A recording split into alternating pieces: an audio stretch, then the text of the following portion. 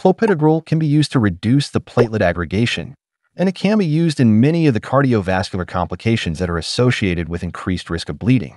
It can be given to the people with recent myocardial infarction, stroke, or for people with established peripheral arterial disease. It can also be used to reduce the risk of bleeding in people with coronary artery disease. Therefore, this medication can be used in all the conditions where platelet aggregation is possible that arrest the blood flow. In this video, let's discuss key facts about this medication. Now let's see how it works. Clopidogrel is a medication that belongs to thienopyridines. It helps in inhibiting the platelet activation as well as aggregation. Platelets are activated by many of the factors, and among them, adenosine diphosphate is one of the pathways that activates and produces platelet aggregation. This results in the formation of clots and arrest of blood flow. On the platelets, few receptors are expressed, which are purinergic in nature. That means they are activated by substances that have a purine-like structure. Adenosine diphosphate is a type of purine that can bind to these receptors, resulting in their activation. This produces platelet activation, which stimulates their aggregation. So, on action of ADP on the platelet surface, it promotes platelet activation and aggregation, leading to the formation of a clot that arrests the blood flow. This process is blocked by clopidogrel. This medication selectively blocks these ADP receptors on the platelets. It produces an irreversible inhibition of ADP binding to these purinergic receptors present on the platelets, leading to inhibition of platelet activation and aggregation. However, this action is not mediated directly by clopidogrel. The antiplatelet activity of this medication is mainly mediated by its active metabolite formed in the liver. Now let us see the dosage of this medication. Clopidogrel is available as a tablet at two different strengths. One is at a low strength, such as 75 milligrams, and another one is at a high dose, such as 300 milligrams. This high dose of clopidogrel can be used as a loading dose in a few conditions that require an immediate antiplatelet action, particularly in people with acute coronary syndrome who are having unstable angina, a non-ST segment elevation myocardial infarction, a loading dose is required. In such people, 300 milligrams of clopidogrel can be given initially to produce immediate antiplatelet action.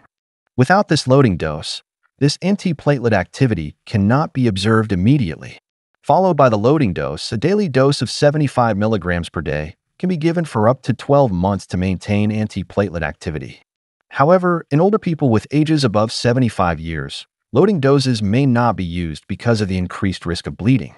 Clopidogrel can also be used in the prevention of recent myocardial infarction, stroke, and established peripheral arterial disease, where it can be used at a dose of 75 milligrams per day. Precautions Clopidogrel can inhibit the platelet aggregation, therefore, it can increase the risk of bleeding, which can be further enhanced by a few of the other risk factors. If you are using other anticoagulants like warfarin or thrombin inhibitors, the risk of bleeding may be increased. Using other antiplatelet agents can also increase the hemorrhage, particularly if you are using low-dose aspirin, which acts as an antiplatelet agent. It can increase the risk of bleeding when it is combined with clopidogrel. Particularly people with transient ischemic attack or stroke are at high risk for recurrent ischemic events. In such people, the combination of aspirin and clopidogrel may not be that much more effective compared with the use of clopidogrel alone.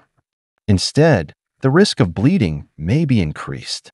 Similarly, the risk of bleeding can also be enhanced by the use of nonsteroidal anti-inflammatory drugs. These are the pain relievers that can be used to control the pain in many of the conditions. They may be used for longer periods. With chronic use of pain relievers, they can inhibit the platelet aggregation by inhibiting the COX pathway, cyclooxygenase pathway. Particularly, they inhibit the synthesis of prostaglandin I2 and E2. This results in the inhibition of platelet aggregation, leading to a decreased clotting process.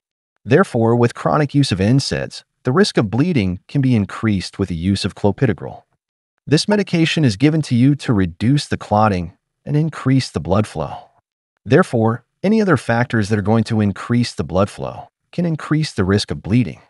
At the same time, when you're going to stop this medication again, the clotting process may be activated due to the increased platelet activation and aggregation.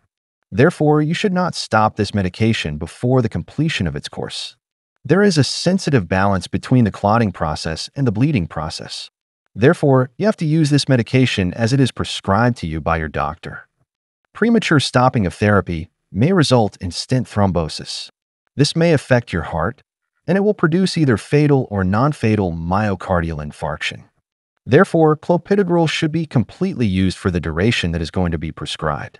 In case it is to be temporarily discontinued, then it should be restarted as early as possible to prevent its fatal effect on thrombosis. Use of clopidogrel can produce a few of the hypersensitive reactions. This may result in the development of skin rashes, and in a few people, it can also produce angioedema. This results in the swelling of lips, throat, and tongue. These hypersensitive reactions are common with this group of medications that inhibit platelet aggregation. Therefore, when you're taking clopidogrel, you should be careful to monitor any development of hypersensitive reactions. Clopidogrel is also associated with a few of the hematological adverse reactions. Even though these are rare, they can produce serious complications. One such type of reaction is neutropenia. It is a reduction in the number of neutrophil counts due to the use of clopidogrel. It can also produce thrombocytopenia, resulting in the reduction of the number of platelets. Aplastic anemia is another condition where the bone marrow fails to produce sufficient blood cells, leading to weakness and fatigue. Sometimes after a short exposure to clopidogrel for around less than two weeks, it can produce a condition called thrombotic thrombocytopenic purpura. It is rare but a serious condition that requires urgent treatment with plasma exchange. It is a condition where small blood clots are formed in the blood vessels. This results in a reduction in the platelets and leads to damage to the particular organ. It may be associated with thrombocytopenia, decreased platelet count. Renal dysfunction and fever can also be observed. However, this reaction is rarely observed with clopidogrel. Clopidogrel is a prodrug. It is going to be metabolized in the liver and it produces an active metabolite that is responsible for its antiplatelet activity. The metabolism of clopidogrel is mediated by cytochrome P450 enzymes. Among these, CYP2C19 plays an important role. It mainly converts the clopidogrel into its active metabolite. Therefore, any other medications that are affecting the activity of this enzyme can influence the metabolism of clopidogrel. A few of the proton pump inhibitors, like omeprazole, can inhibit the CYP2C19 enzyme. This results in the decreased metabolism of clopidogrel, which increases its levels in the body. This may increase the risk of bleeding. Therefore, when you're taking proton pump inhibitors, you may use other less interacting drugs and try to avoid omeprazole. Omeprazole is a moderate CYP2C19 inhibitor and reduces the pharmacological activity of clopidogrel. However, Pantoprazole is a weak inhibitor of this enzyme. Therefore, when you have to take proton pump inhibitors, you may consider taking pantoprazole while using clopidogrel. Few of the people can also act as the poor metabolizers of clopidogrel due to the decreased activity of this CYP2C19 enzyme. This may result in the decreased formation of the active metabolite of clopidogrel, leading to reduced antiplatelet activity. Therefore, in such people, this medication may not be effective even at the normal doses. In such conditions, the dose may be individualized in such people due to variation in the metabolic enzyme capacity. Clopidogrel can inhibit the platelet aggregation for the lifetime of platelets. Normally, the lifetime of the platelet is variable from 7 to 10 days. Therefore, stopping the dose for 7 to 10 days may not be useful in managing the bleeding events immediately. It may result in the risk of bleeding, so in order to restore the hemostasis immediately, platelets can be administered externally. Therefore, in case of serious bleeding with the use of clopidogrel, external administration of platelets may reverse the condition. Now let us see the side effects produced by this medication. Clopidogrel is associated with upper respiratory tract infections. So with the use of this medication, you may have flu-like syndrome. You may also have rhinitis and a runny nose. It can also produce chest pain and joint pains. You may have a headache and diarrhea. Few people can observe skin rashes. Rarely, it can produce muscle pains. It can also produce urinary tract infections in a few people. Bleeding is one of the important side effects produced by this medication. At very high doses, it can produce side bleeding. If you have any gastrointestinal disorders, high use of clopidogrel may increase the risk of bleeding. Therefore, Gastrointestinal bleeding can be enhanced in conditions like pancreatitis, colitis, stomatitis, and even gastric ulcers. You may have taste disorders, headaches, confusion, and hallucinations. Use of clopidogrel is ineffective if any genetic variation is suspected. Rarely, it can produce muscle pains. That's all, guys. This is all about the important information you should know about this medication, clopidogrel. Thanks for watching this video.